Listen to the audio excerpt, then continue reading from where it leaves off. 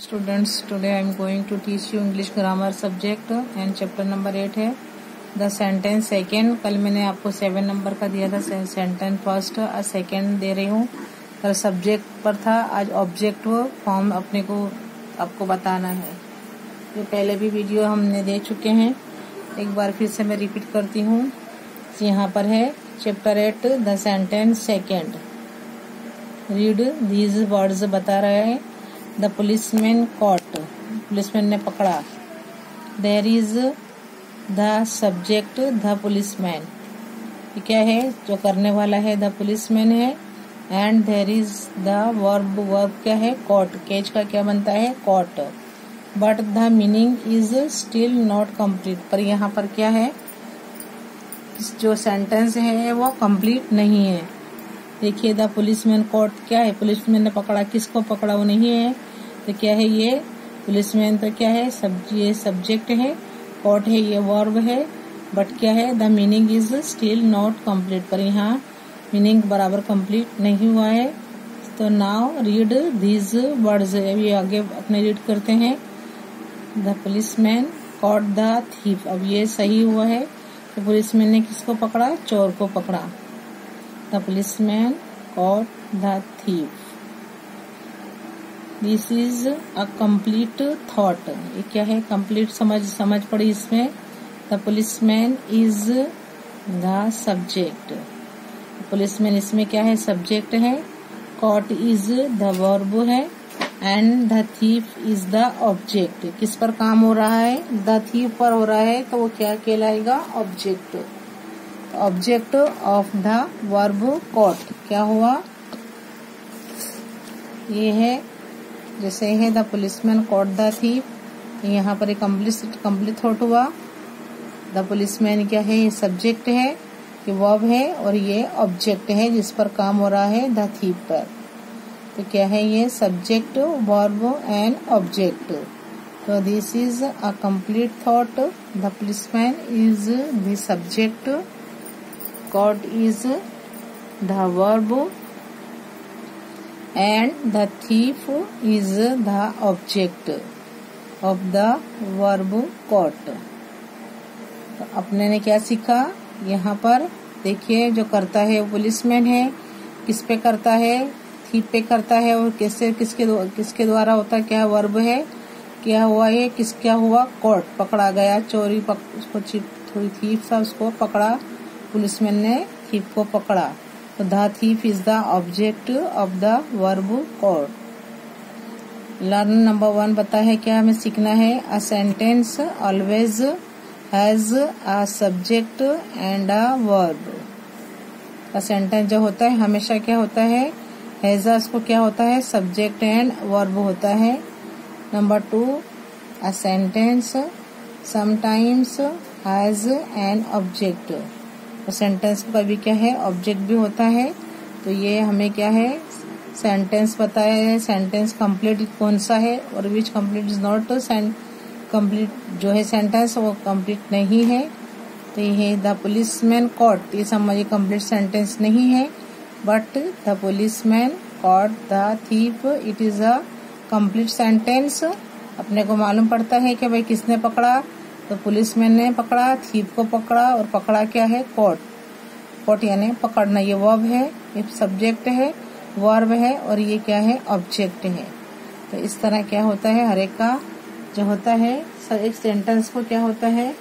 Subject होता है verb भी होता है और उसके बाद ऑब्जेक्ट भी होता है। समटाइम्स कभी कभी ऑब्जेक्ट भी होता है। अभी यहाँ पर एक्सरसाइज नंबर वन है। इसको भी हमें अंडर, कल हमने सब्जेक्ट नीचे अंडरलाइन किया था। अब ये क्या है? अरे प्रोनाउंस के नीचे किया था, आज सब आज है कि भाई underline exercise number one underline the object जिस पर काम किया गया है underline the objects in the following sentence तो क्या है exercise number one underline the objects in the following sentences number one है the children are washing their hands. क्या है ऑब्जेक्ट किस पे हो रहा है काम? हाथों पर हो रहा है their hands. The children are washing their hands. हमें भी क्या करना है? ये ऑब्जेक्ट है। अंडरलाइन करना है यहाँ पर करेंगे, लाइन बनाएँगे their hands. Number two I can ask this question अब हम किसके नीचे अंडरलाइन करेंगे? क्वेश्चन के नीचे करेंगे। I can ask this question अब दिस क्वेश्चन के नीचे क्या है? हम लाइन बनाएँगे अंडरलाइन करेंगे। Number three the doctor will examine the patient तो क्या है? द पेशेंट क्या है? ऑब्जेक्ट है। द डॉक्टर है, वो क्या है? सब्जेक्ट है। और ये क्या है? एग्जामिन क्या है? ये वर्ब है। यहाँ पर होगा the doctor will examine the patient number four a cow gives milk अब क्या है? मिल्क क्या है? ऑब्जेक्ट है। तो हम इसके नीचे क्या करेंगे? अंडरलाइन करेंगे। A cow gives milk underline milk number five a writer writes books writer writes books books भी क्या है? ऑब्जेक्ट है. Underline object books writer writes books number six the hungry boy ate three bananas the hungry boy is a subject at is a verb and three bananas is a object. So underline on three bananas. Number 7 servants must obey their masters. Servants must obey their masters is object underline on their masters servants must obey their masters. Number 8 the child broke the glass. The child broke the glass. The glass is a object underline on underline the glass. Number 9 the pupils could not answer that question so what is the object to that question so put a line under that question the pupils would not answer that question 10 number mrs sharma teach english क्या है Mrs Sharma है object है teachers क्या है verb है and English है यहाँ पर ऑब्जेक्ट तो पुट यह है लाइन बनाएँगे अंडरलाइन के वन इस पे नीचे करेंगे इंग्लिश तो Mrs Sharma teachers English Mrs Sharma teachers English exercise number two at the right object अभी ऑब्जेक्ट है ऐड करने हैं, हमें हमें रखना है इसको। Add the right objects and complete these sentences अभी क्या है? ऐड करके हमें राइट ऑब्जेक्ट को कंप्लीट करना है सेंटेंस को। In bracket choose the objects from the list given at the end choose करना है हमें ऑब्जेक्ट्स को, जो लिस्ट दी गई है। क्या है? एंड में दी जो लिस्ट दी गई है, उसमें से हमें क्या है?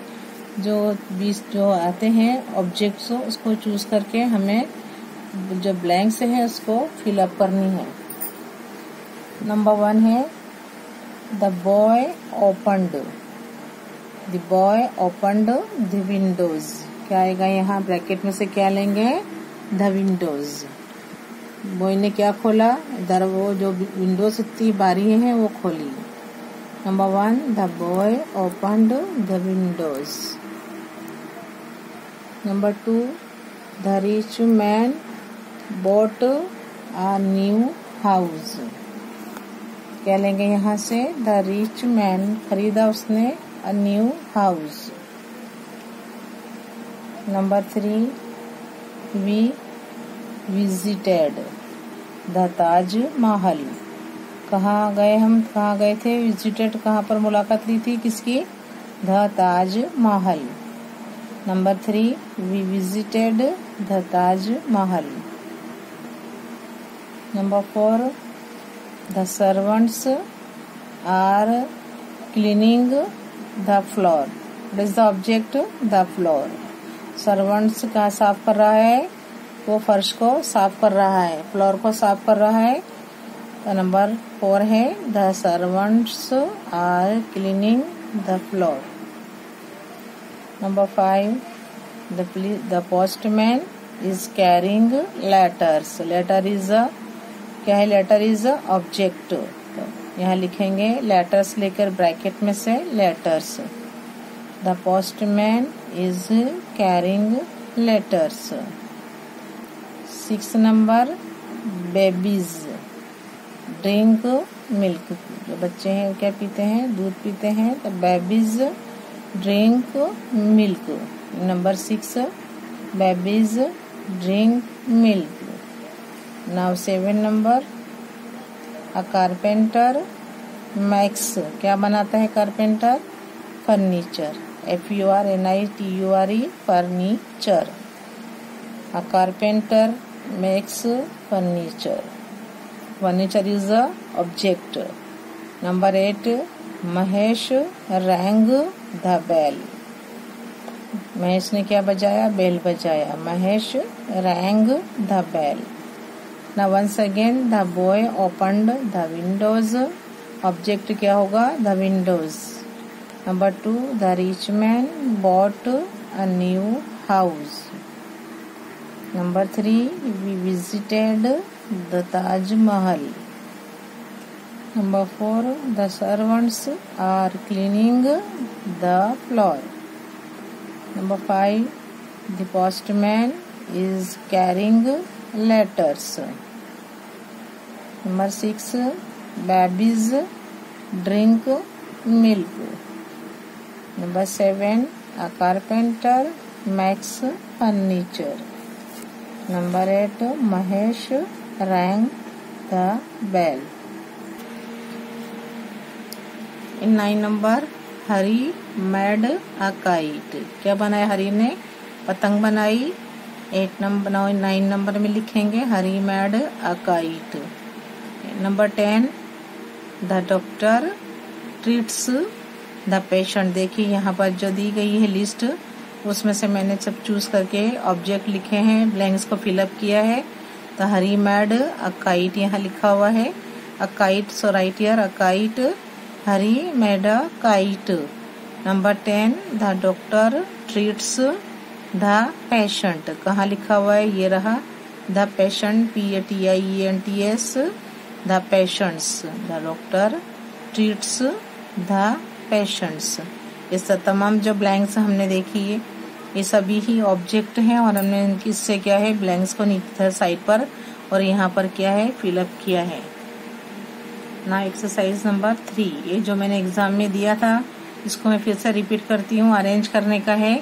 Arrange exercise number 3 arrange each group of words in the proper order proper order में हमें क्या करना है? अरेंज करने हैं वर्ड्स को and to make a sensible sentence arrange करना है हमें उसको ग्रुप ऑफ़ वर्ड्स को in the proper order to make a sensible sentence the first one is done for you यहाँ पर जो पहला है, बताया गया है आपको फॉर एग्ज़ाम्पल हमें उसको फॉलो करना है। तो arrange each group of words in the proper order to make a sensible sentence number one met we teacher our yesterday so क्या है? हमें सेंसिबल सेंटेंस बनाना है वर्ड्स को अरेंज करके। तो सो राइट वी क्या लिखेंगे हम पहले? We we met our teacher yesterday क्या बनेगा? We met our teacher yesterday देखो, मैं तुमको कितनी अच्छी वीडियो बनाकर देती हूँ तो भी आप लोग देखते नहीं है। है ना? अगर आप भी कंप्लेन करते हैं कि कुछ समझ में नहीं आता, कुछ समझ में नहीं आता, आवाज़ तो समझते हो कि नहीं? देखते भी तो हो। देखो बराबर कैसा कौन सा वर्ड कहाँ लिखा हुआ है, बराबर देख। के और आवाज़ भी तुमको आती है तो वो देख कर पढ़ो और बराबर लर्न करो, है ना? Number one met we teacher our yesterday put a sensible sentence we met our teacher yesterday number two flying Ashok kite was अभी कैसे बनाएँगे बताइए, मुझे सेंटेंस कैसे होगा? सेंसिबल सेंटेंस बनाना है हमें। First we write here Ashok was flying a kite Ashok was flying a kite कैसे बनेगा? Ashok was flying a kite number three, gardener the watered plants the. अब कैसे बनाएँगे इसको? द गार्डनर, क्या बनेगा? The gardener watered the plants. The gardener watered the plants. पहले लेंगे the gardener, then the gardener watered the plants. यहाँ ऐसे ही लिखा हुआ है, the gardener watered the plants number four my lost brother pen a my बनेगा यहाँ my brother lost a pen my brother lost a pen कैसे बनेगा? My brother lost a pen okay अब आपको बनाते आना चाहिए. Five number book reading you are क्या लिखा हुआ है? Book are reading you are तो फ़र्स्ट हम लेंगे यहाँ पर। यहाँ लेंगे you are you are reading a book क्या बनेगा? You are reading a book यहाँ लिखेंगे you are reading a book number six want I table that so we write first here हम यहाँ क्या लिखेंगे? आई वॉन्ट दैट टेबल क्या बनेगा? I want that table answer में लिखेंगे I want that table number seven है boys those playing cricket are तो ये बताइए, मुझे कैसे बनाओगे आप लोग? बताओ।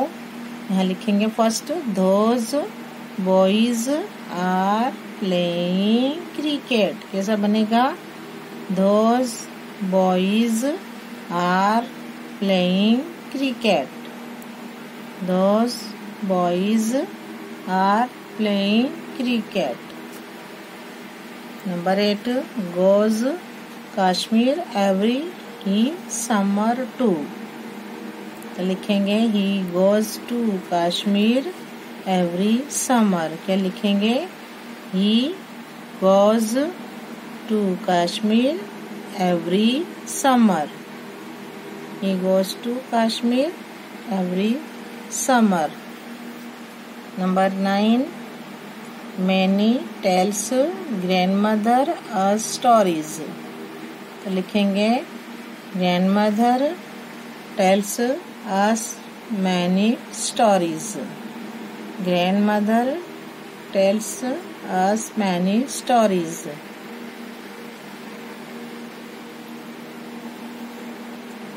यह फिर से बोलने पड़ेंगे। यहाँ ग्रैंड मदर पहले आएगा। Grandmother tells us many stories number ten surname his no I यहाँ होगा आई नो हिज सरनेम यहाँ से जाएँगे. आई नो हिज सरनेम यहाँ लिखा आंसर में आई नो हिज सरनेम अब देखो यहाँ इंस्ट्रक्शन लिखी गई है. आप लोग ध्यान नहीं रखते हो. यहाँ बुक में लिखी है इंस्ट्रक्शन इंस्ट्रक्शन क्या बताता है? डोंट फॉरगेट मत भूलो to write the first letter of each sentence capital क्या है? हमेशा जो फ़र्स्ट लेटर होता है सेंटेंस का, उसे कैपिटल लिखना मत भूलो, उसे हमेशा कैपिटल लिखो। डोंट फॉरगेट भूलो मत. To write the first letter of each sentence capital first letter write always capital also remember और भी याद रखो, क्या रखो याद? To put a full stop हम जो फुल स्टॉप ऐसा लगाते हैं, ऐसे बनाते हैं फुल स्टॉप इसको भी भूलना नहीं है हमें। तो also remember to put a full stop at the end of each sentence देखिए जो लास्ट में जो सेंटेंस आता है जो होता है, जहाँ पर एंड आता है सेंटेंस का, वहाँ में क्या लगाना है? फुल स्टॉप वहाँ पर रुक जाना है हमें। इसका मतलब है यहाँ रुक गए हम तो यहाँ स्टॉप हो गया। तो यहाँ है don't forget to write the first letter of each sentence capital also remember to put a full stop at the end of each sentence.